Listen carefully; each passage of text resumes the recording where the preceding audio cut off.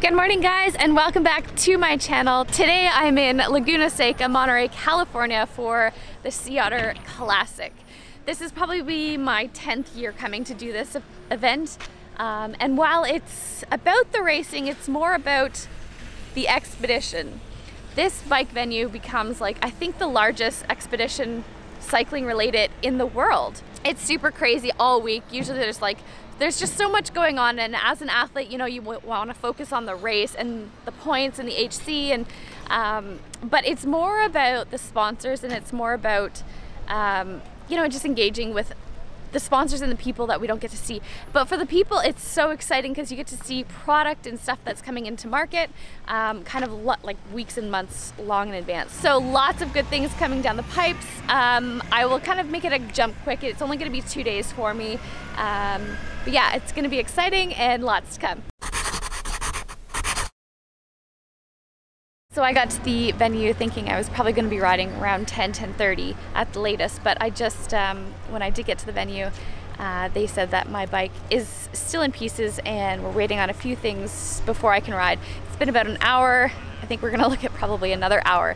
So this is kind of the events that happen um, when we're at the expo. It's just kind of predictably unpredictable, but that's kind of what Sea Otter is about, and just being at the expo for long days um, and trying not to do too much damage um, on the athletes.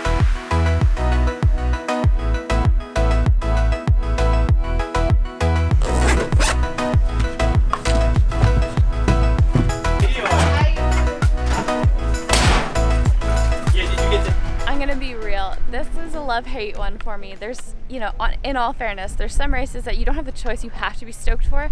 And then there's some like this particular one, I like it, but like I don't get to tour around like people. Like we come here to race, which is actually tomorrow. It's it's um, a Thursday race, the cross country, and then it's pretty much like uh, like autograph sessions and then recovery and travel. So we don't really get to tour around a lot.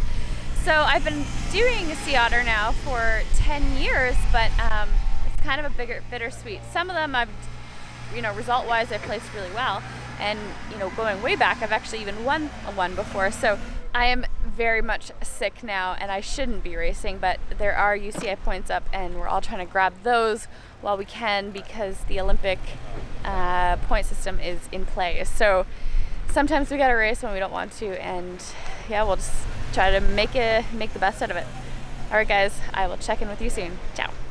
So I just did two laps on the course here and I'm just gonna test out the 36 chainring because we do have a tailwind for the start finish area as well as the pavement back climb. It's, it's, a, it's a strong tailwind right now. So I wanna make sure I'm not under geared um, coming into the start finish area because it's quite a bit of pavement. So we got that 36 on there. It happens fast. These guys can I wanted the shifter more inboard. I like that word.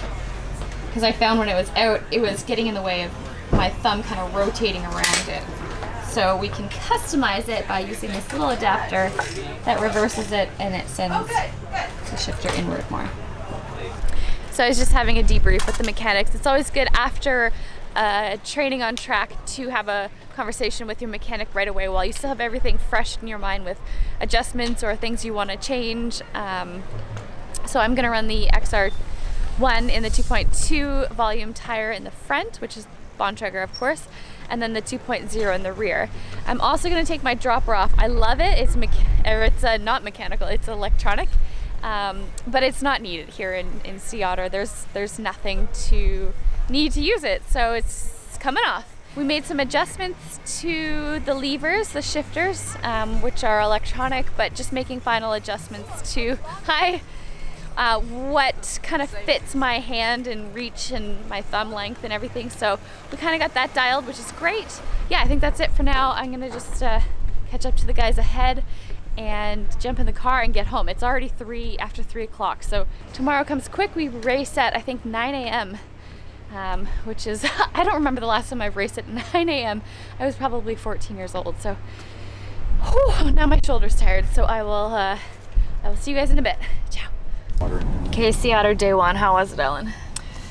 Good. Yeah, it was pretty uneventful. I was shooting something with BOA, so I got to wear a chest cam pre-riding the course, which looks so nerdy because obviously like there's nothing on the sea otter course that anyone like needs to see really. They Um, should but have it had was me wear it and then me film you. Oh, I don't think it's not really like anything too involved, but it was quite fun because I kind of narrated it for them a little bit. Oh, fun. Uh, but I made them a song as well. Oh, you made it like a jingle. Yeah, you know the song "All I Do Is Win." Yeah, so I did.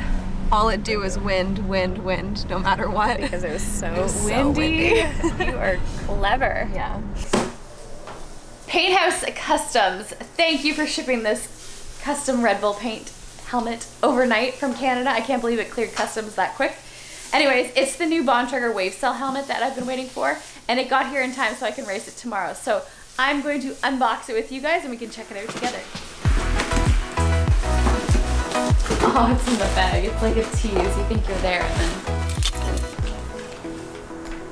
Oh! Oh my god! That is sick. Sweet, thank you. I bet that took so long. Look at the I detail.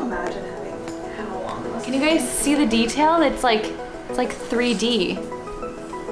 Wow. Oh, And then the helmet, like this WaveCel technology. it's so This looks so good. Sweet, thank you, Stacy. Woo! We are going for tacos.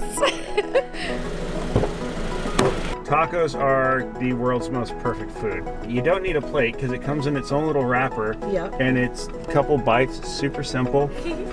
then it's just utterly delicious. Why would you want anything else in life except for to eat piles of tacos?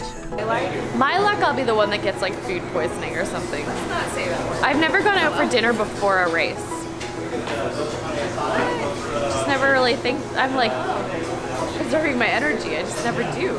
That's why I like it because then you don't have to cook. Yeah. Okay, I'll probably just do what Ella does. Ooh, no, don't. That makes me nervous. I Oh. don't want you to get what I get. Oh, that makes you sick, It's my fault. Yeah, it is. Good morning, guys. It's just before 6 a.m. and um, we're racing at 9 a.m.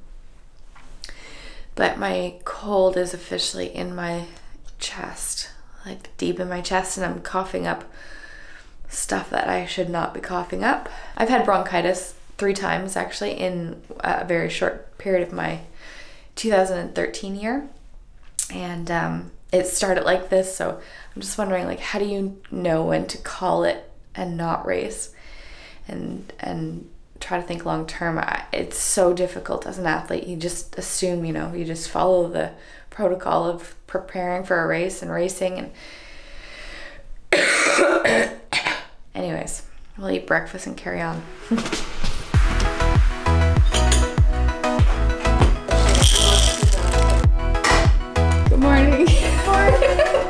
you know when you can taste, like taste infection? No.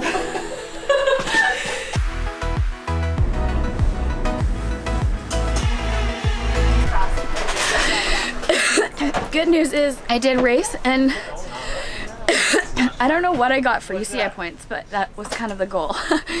so the damage was done and now we're done racing. So Matto's gonna make some hot water and then we'll call it a day. Ciao.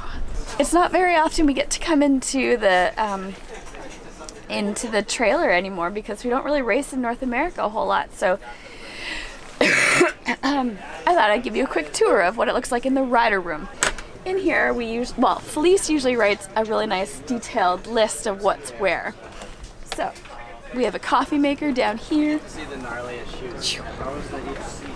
and it's on. I can smell the coffee, snacks basket, spare stuff, GU products. This is the side that I thought would be worth sharing. So lots of GU products. This is usually full, but like I said, we're not really here in North America racing a whole lot, so I'm actually shocked there's anything in there. And then we all have our lockers. So believe it or not, this was an old um, horse trailer. Um, and they've converted it like way, way back. We should actually ask Matt the details, but it is an old horse trailer. And I don't know, they converted it like 15 years ago. And it's been the team trailer for I think about that time. So maybe I'll like show you guys in the mechanic room in the back. What do you guys think of the rainbow versus the gold cassette and chain? Do you guys like it? It's different and it's so pretty in person. I don't know if it shows up in camera quite as pretty, but it's gorgeous. I love the gold, of course, but the pretty colors of the rainbow, purple and blues, matches the bike nicely. That's It's a picture of you!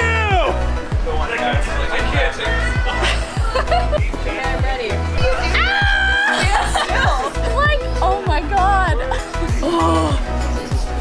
My head hurts. Big fan, Emily Batty, yeah! sea otter, baby, woo! Are you having a good time? I am. Yeah. Better, a better time now that I met you. Oh, that's so cool. I'm just gonna hang out at the entrance all day. Oh, Never mind going to the pits. yeah, nice. That is so funny. This is when they did like a superhero comic poster. It was so funny. Let's see your teeth. I'm back now from the venue. It was a pretty pretty busy morning. It was really hot at the venue and it is Friday, so it's in full force. So everybody is here. It's a massive crowd. Um, it went pretty well though, but it was uh yeah, it was it was like a good a good session. We did like autographs and met lots of people and it was great. So thank you to everyone that came out. Um, I just got a ride back here to the accommodation and now I'm like literally packing my life up in a matter of 25 minutes because the shuttle to take me to San Francisco airport is going to be here and I'm not packed. So I'm like frantically trying to get everything in my bags. Normally I like to be really organized, but right now I'm just like, oh, I don't care. I just want to get everything in, get it zipped up, and get home because I'm going home for the first time in a very, very long time. So got Sea Otter done and it's dusted, which is good. Another year. I mean, it's a great event, but it's always one that it's from a rider's perspective, from my perspective, is like how much, how little damage can we do this year. So it wasn't too bad, but I'm not looking forward to seeing how long this cold is going to take to clear out. I've talked to a lot of people, and they've said that they've had this just recently, and it took like weeks to get rid of. So I'm hoping that it's um, it's not that long, but um, I'm like pounding the ginger shots and immunity wellness boosters and everything, like everything that I normally do, but upping it double. I started this way kind of last year. Like it didn't start really fast, um, but come the World Cups, I was like full on. So we have five weeks before the first World Cup, and it's enough time that it's close enough to have like really tangible goals and really like near future goals, but not so far away that it feels like, oh, I'll get to that tomorrow. Like it's right around the corner, literally. And I know I'm fit and I'm I'm kind of ready to go there, but there's like a few other things I want to work on with just like, you know, getting body composition like lean and like getting kind of fine tuning last details. So lots of work to be done. Thanks to everyone that came over to the truck tent and said hello. I love getting to see you guys, even if it is just once a year and it's a few minutes. I really do, I really do value that time. So when you shoot me messages, I love putting like, um, yeah, just like catching up experiences to a face to a name, so to speak. And um, yeah, so thanks guys for coming over. So yeah, that's another sea otter come and gone. Until next time, guys, thank you for tuning in and watching my channel. If you enjoyed this, uh, my perspective, um, then give it a thumbs up or subscribe or do both, but it really helps my channel. So in the meantime, guys, thanks for watching and I will see you in my next video. Hopefully not sick though. Ciao!